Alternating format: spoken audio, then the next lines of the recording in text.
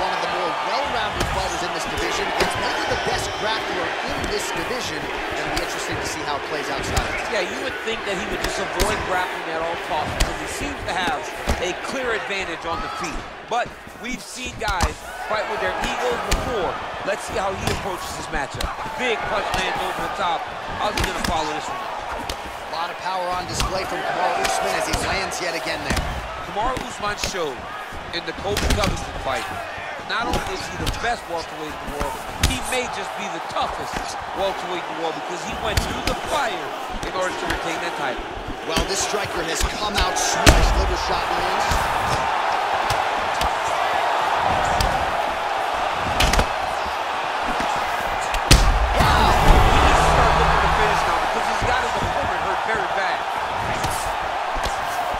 Oh, opening up on him now. Really timing his shots nicely. Good tempo, very accurate, finding the range with relative ease. Yeah, he's doing a great job of really overwhelming his opponent with activity. 44 total strikes have landed for Kamaru Usman. Right there, the seminal blow of the fight.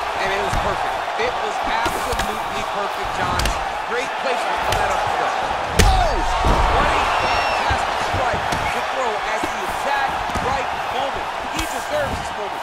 Finish his fight. Punch coming, it's blocked. You got him. Huge shots there. Just over two minutes to go in what has been a furious round one. Oh, straight right.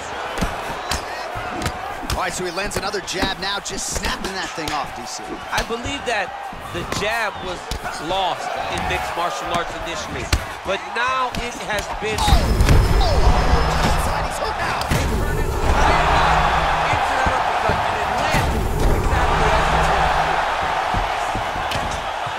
Gets up again here, but hurting. Oh, big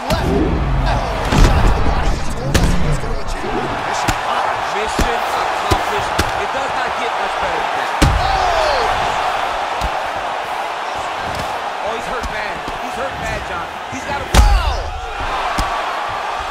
Oh, man. This ground and pound is good. Probably my favorite striking realm in MMA, and he's as good as it gets. The problem is his opponent is not controlling his posture.